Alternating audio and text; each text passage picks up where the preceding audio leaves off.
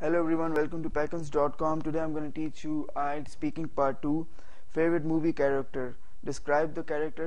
इस character को uh, describe करें. Uh, how has the character affected your personality? इस character ने आपकी personality के ऊपर क्या affect किया है और have you seen a similar kind of person in real life? क्या आपने इस किस्म का इंसान अप, अपनी असल ज़िंदगी में देखा है एक और चीज़ मैं आपको ये बताना चाह रहा हूँ कि ये जो uh, सारे जो मैं आपको दे रहा हूँ स्पीकिंग टॉपिक्स इन स्पीकिंग टॉपिक्स के नीचे मैं आपको उर्दू ट्रांसलेशन के अंदर भी एक वीडियो दे रहा हूँ। ठीक है? वैसे तो आ, अगर आप आइट्स का एग्ज़ाम दे रहे हैं तो आपको आना चाहिए। मगर फिर भी जो स्पीकिंग जो लिखा हुआ है जो मैं बोल रहा हूँ इंग्लिश के अंदर उसकी मैं उर्दू के अंदर भी ट्रांसलेशन एक ऑडियो दूँगा। तो ये इस वीडियो के नीचे आप दूसरी देख लेना नीचे होगी। वो उसके अंदर उर्दू में मैं आपको बता रहा हूँ कि मैंने क्या लिखा है जो इंग्लिश में बोल रहा हूँ उसका उर्दू में क्या मतलब है Now I'm going to give you the sample answer. My favorite movie is Terminal, and that is the reason I like the character of Victor Navorski in this movie. The character was played by Tom, Tom Hanks, and the, the thing which I like about the character was that he was a very simple and honest person.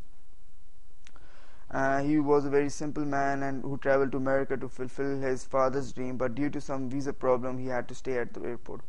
The character was has affected me a lot because uh, he, this person, uh, is a very strong person.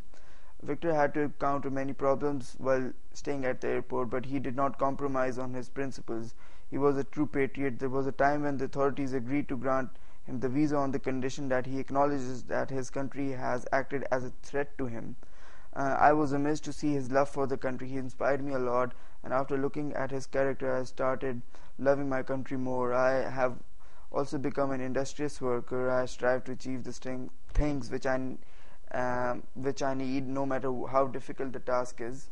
Uh, I have never seen this kind of person in this world. I do not think that they, these kinds of people exist in the world. Most of the people in this world are selfish and they are always ready to compromise on their principle as long as this person is uh, concerned. He never compromised on his principle.